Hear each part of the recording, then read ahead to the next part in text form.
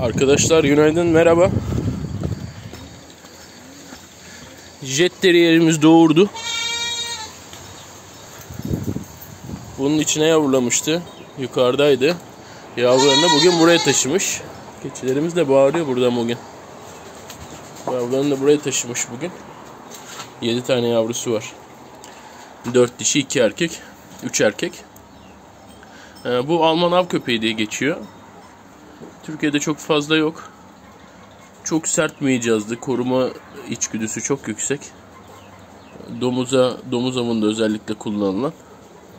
Onun haricinde oklu kirpi, porsuk, tilki e, bu tarz hayvanlarla şey e, bu tarz hayvanların avında kullanılabilen bir köpek.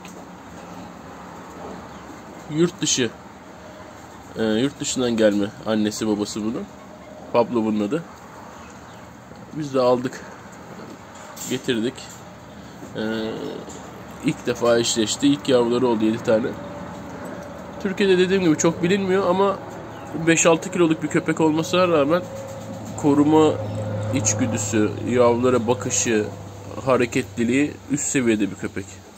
Yani bunu koyun bahçenize unutun gerisini. Ya da av yapacaksanız domuza öyle bir e, saldırışı var ki diğer av köpekleri yaklaşamazken o direkt yapışıp pitbull gibi tutuyor domuzu. Hiç korkusu morkusu yok. Kendinden büyük tilkileri boğabiliyor, porsukları boğabiliyor. Yani evinizde, bahçenizde kümes hayvanı, herhangi bir başka bir hayvan besliyorsanız gelincikten, tilkiden korunmak istiyorsanız biçilmiş kaftan öyle diyeyim.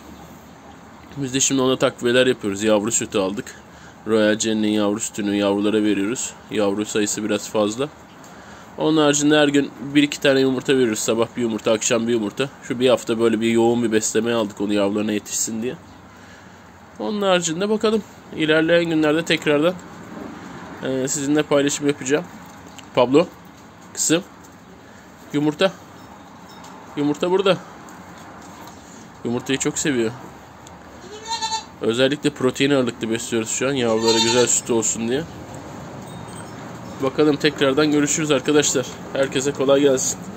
Abone olmayı unutmayın kanalıma. Videoları beğenirseniz sevinirim. İyi günler.